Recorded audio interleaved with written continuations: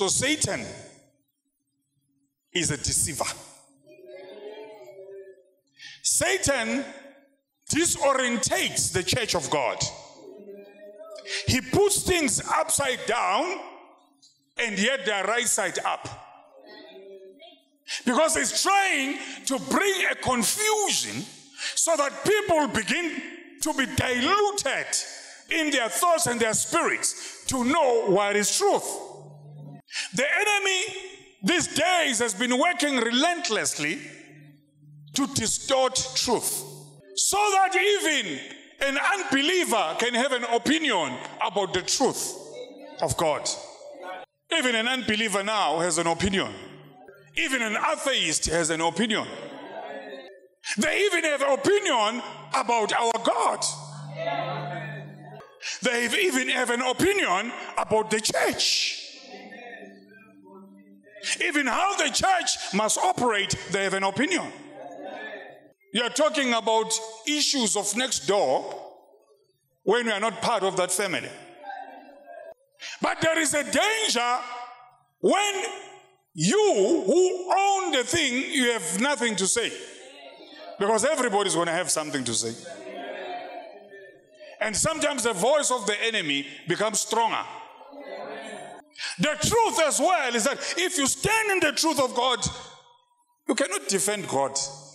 Stand just in the truth. Let the church be truthful. If the church is truthful, God is going to defend himself.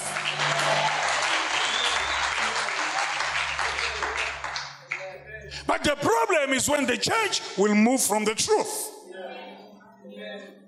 Then, when they move away from the truth, then they've opened themselves to deception.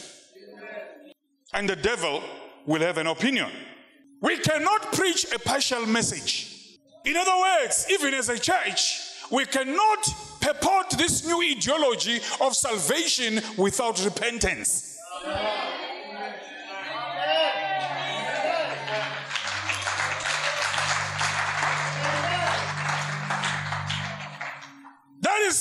this salvation without repentance, kind of a shift in the gospel today, has become a tragedy and a mockery into the work of the cross. That is exactly how the church has shifted to the state it is facing today. People are no more convicted of sin. People have no fear of God. Because if, if the church is convicted in sin, church will never operate in sin. But the salvation that is being preached today is a partial, diluted, half baked message that is excluding repentance. People are saved without repenting. What do you call that thing? So, if you do that, that means it's salvation without the Holy Spirit. We've got to look at David in the Bible. He was a paragon of virtue when it comes to leadership, and he became a prototype of the Jewish Messiah. The reason is because David moved in repentance. It does not show that David was a perfect man. But David knew how to repent.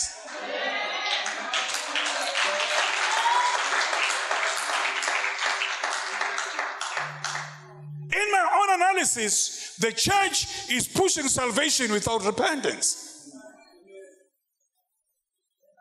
People are no more truly repenting and crying out to God. Therefore, the, the kind of Christians that are coming out are half baked Christians.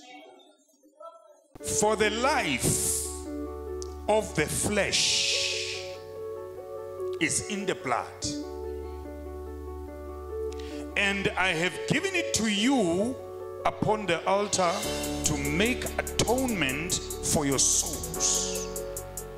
For it is the blood that makes atonement for the soul. Many of you are sick. Many of you are weak. Many of you sleep early, which means they die before time. The reason it happens is because you did not discern the body of Christ. Remember the Passover that the blood was applied at the doorposts. Hallelujah. And the angel of death had to come. But when he saw the blood, if you know of the blood of Jesus, how to retrieve that power, how to stimulate that power, how to take the weapon of the power of the blood of Jesus, no demon in hell will be able to stand before you.